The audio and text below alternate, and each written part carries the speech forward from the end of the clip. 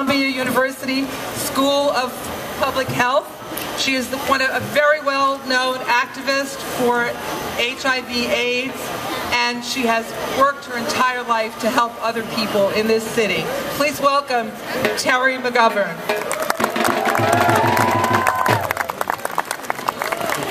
St. Pat's for all. It's such an honor to be here. Thanks to Brendan Fay, Kathleen Walsh And the entire St. Pat's for All committee. Thanks to the Consulate General, Noel Kilkenny, and his wife, Honora. Thanks to the Irish Ministry, the minister who's here. Yes.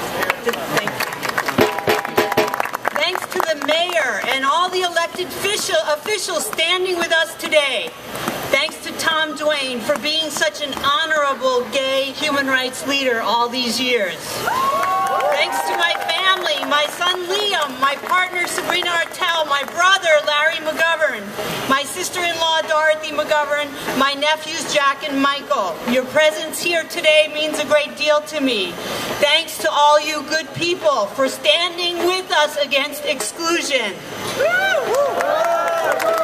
To the organizers of this parade who continue to be told they cannot march down Fifth Avenue if they openly identify as gay, Samuel Beckett said, A dreamer is one who can only find his way by moonlight, and his punishment is that he sees the dawn before the rest of the world.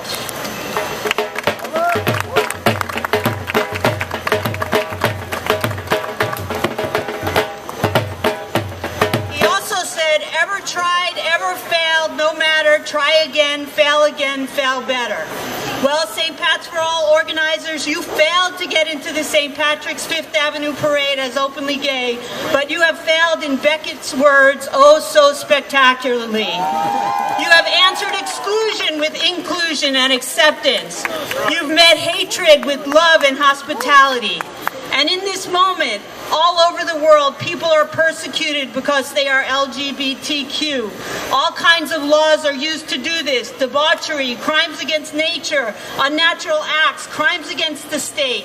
People are criminalized because of their choice of partners and gender identity, sentenced to hard labor, whippings, forced psychiatric treatment, imprisonment torture, or in seven countries they're killed. 78 countries criminalize LGBTQ conduct or identity. 78. And that's just criminal laws. Discrimination is rampant. As you all know, in Uganda recently, a day after the president signed a bill punishing gay sex with life in jail, the names of 200 gay people, some of whom had never identified, were published in a tabloid. The last time some, that happened, a lovely man named David Kato was murdered. A month ago, Nigeria passed the same-sex marriage prohibition bill, which allows imprisonment of anyone who directly or indirectly demonstrates support or makes a show of same-sex relationships. Shortly after its passage, men were rounded up and beaten with sticks with nails. All over the world, raping of lesbians, curative rapes, forced marriages. India recently recriminalized sodomy. The discrimination is hardest on young people worldwide, who often lack any protection whatsoever from hate. Here in the U.S., LGBT immigrants experience the highest levels of violence. Transgender people, the highest level of human rights abuses. So you see, this is not really just a dispute about a small, benign matter. Discrimination is never a small matter. It institutionalizes hatred. Irish people of all should understand this well. In the name of religion, people keep trying to institutionalize hatred. Recently in Arizona, we want the right not to sell or do business with LGBTQ people. Nothing personal, mind you, just religion. The people who oppose gay participation in the parade say, just march. Why do you have to identify yourself as gay? This is religion. This is about our heritage. The parade is about Irish identity, not sexuality. These arguments just don't stand up. If you're not interested in our sexuality, then let us march with the banner of LGBTQ. Let us say who we are. I'll tell you what, it matters. I tell you what, I've never been that interested in forcing people to accept me as a lesbian. There are so many complex components to my identity. But I learned that whether I forced it on them or not, some discriminated against me. Just like our friends who were listed in the Uganda tabloid, despite keeping their sexual behavior to themselves. You see, you really can't control other people's bigotry. It's phony, this argument, that we'll all be well if we keep things to ourselves. Why should we? I am proud of my family, the life I've lived, my son. There is nothing to hide. What is culture? What is culture?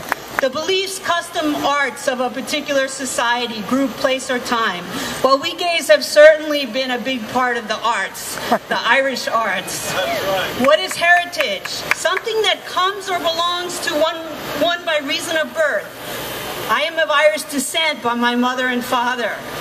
I am certain that my ancestors fought for human rights in Ireland.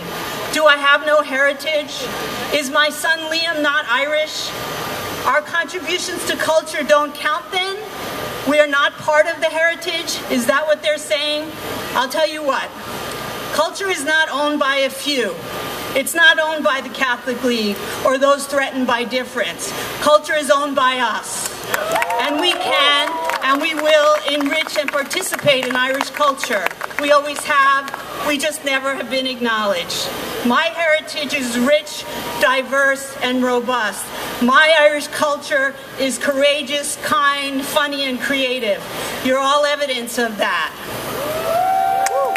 We march today for human rights.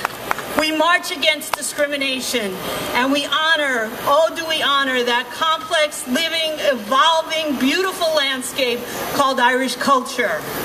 I am so certain that what we are doing today, resisting exclusion, is cultural. Let's celebrate.